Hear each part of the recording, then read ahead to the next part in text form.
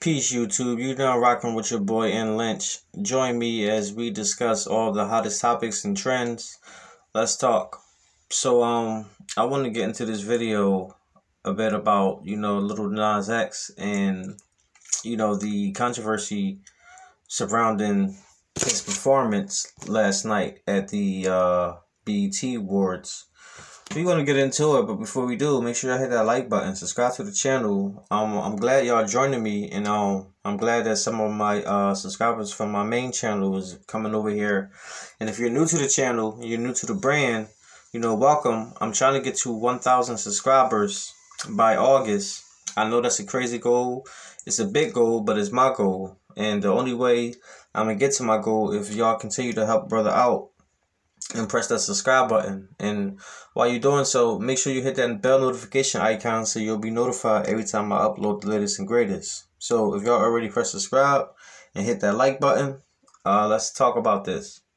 So um BET Awards was last night and you know um there was a lot of different you know performances, a lot of different awards given out there's been a lot of talk about on the red carpet, behind the stage, after parties and everything like that. But one of the main discussions that that's been trending on social media all day and well since last night rather was Lil Nas X performance and how he uh you know did the uh French thing, the French kiss on stage with one of his male dancers. Now I seen a video earlier with Kwame Brown talking about this, which I actually um made a video about myself, you know, doing my um my thoughts, and my reaction to what Kwame Brown had to think. This is kind of just my video, piggyback on on it, and um get just giving my initial thoughts itself. I believe that you know um you do what you do. That that's cool or whatever. I uh and I, I don't know it's just so funny. I'm not even gonna say what I was about to say. You just do you do what you do, but you don't have to do it like on TV and you know on a, a grand scale where you just being just too loud, too uh eccentric, um, have you like all that was very unnecessary. You you, you got people, uh, men groping on him on the bottom. You know, you can see it on the thumbnail I got uh now, and he's kissing on the other guy. The other dude like he like uh caressing his, um his backside. Well, both of them like they caressing his backside, but the other man like he like kissing on his nipples, his chest. Like this is crazy, and like BET Awards is supposed to be a family show, and and that's really my issue. That's really my my gripe.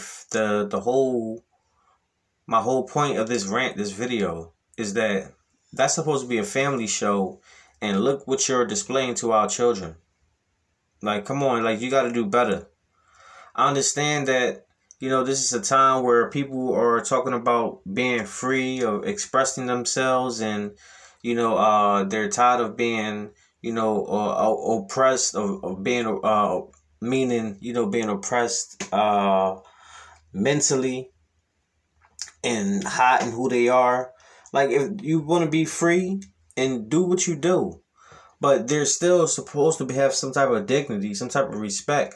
And this is what I'm not getting with this this new generation. This is what I'm not getting with these these new like liberation movements. Like they're fighting for equality. They're fighting for you know um you know uh non prejudice and all that stuff against them, which is cool, which is good, and which they have every right to. And for all that, I agree and I totally 100% um, support.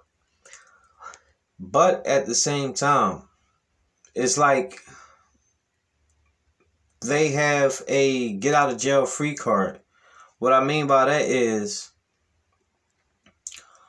they're able to do certain things and say certain things and get away with it because on the simple fact that they might be in a, in a particular demographics in a particular group.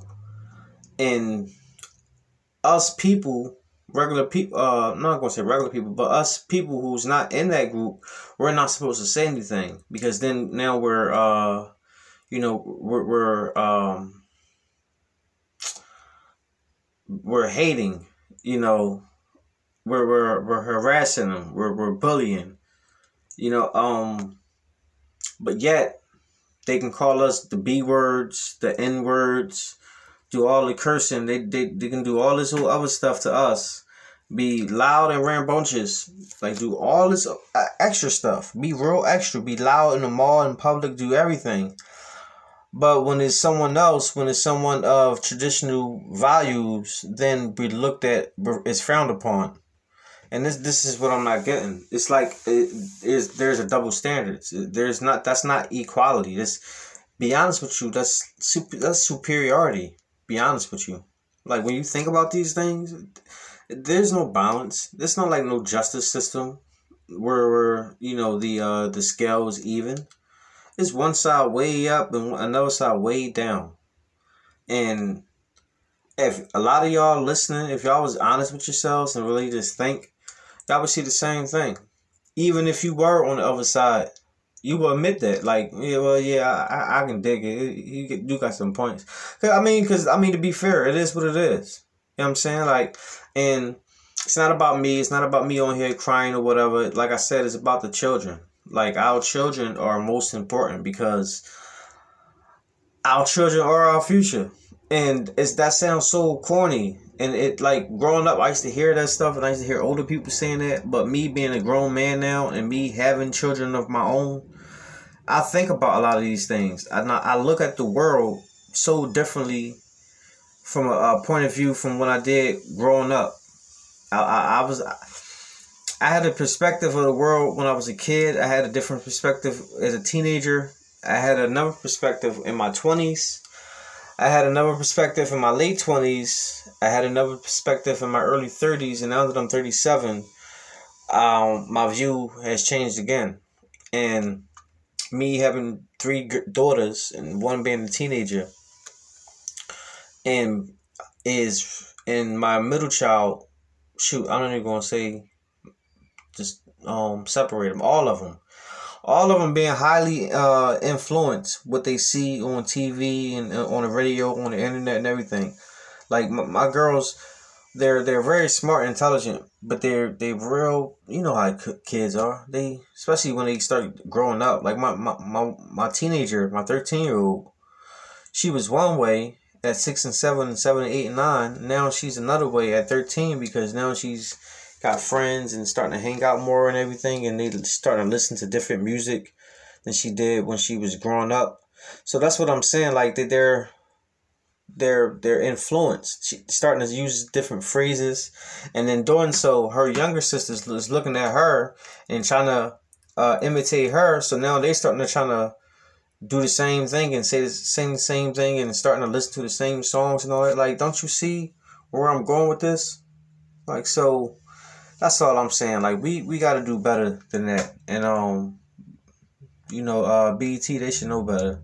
I, I should do a video about that in itself about just BET and um you know they foolery. But let me know what y'all think. Drop your comments down below. Let me know if y'all think I'm tripping or not. Um I like to hear y'all opinions. And uh we can go from there and we can build in the comment section. Like I said, as long as we're respectful. I mean, respect each other. You respect me, I respect you. We doing good and um we just build we can either agree or we can agree to disagree. So until then, make sure you hit that like button. Make sure you hit the subscribe button. Hit the bell notification icon. And I'll see you on the next one. Peace.